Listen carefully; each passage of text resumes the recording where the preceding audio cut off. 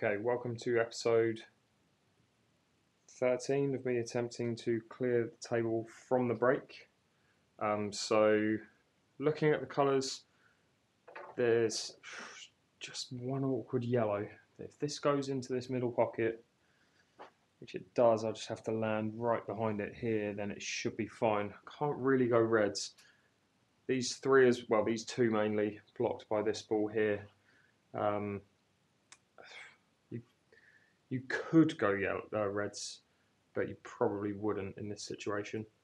Um, so what I'm going to do is the order of these is going to be ball one in there. I'm going to stun over to here to go for this one as ball two, and then land here for this. And this is the key shot, really.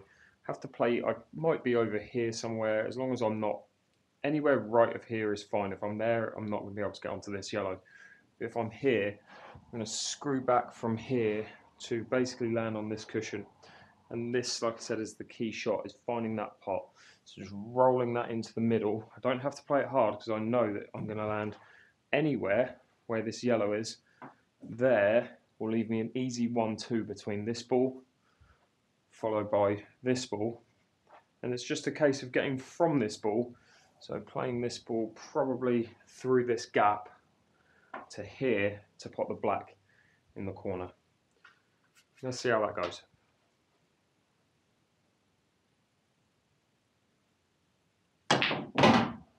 The stun shot there just to move over to the right slightly.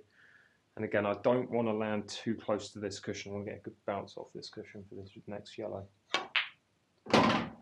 Okay, so that's fine. So where I'm higher, I can still land over here on this cushion. I've just got to play with a little bit of bottom left hand side to spin off this cushion and land roughly around here. Okay, so that's fine. And the fact that I'm not on this cushion is good because it means I can see the angle a little bit better. But I don't need to play this at pace. It is very tight, so I just need to roll it in gently.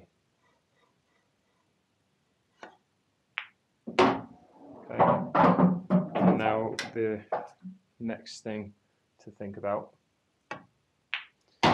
is how hard to play this ball because this is quite a tricky one to judge. You need to play this with backspin to try and get through this gap and I want to land as close to the piece of chalk as I can.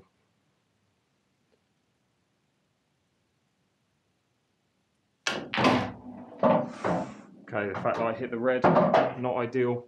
I'm still left with a shot on the black. Wasn't perfect, but just got to make sure of the black now. And I'm going to be playing this into the right hand corner.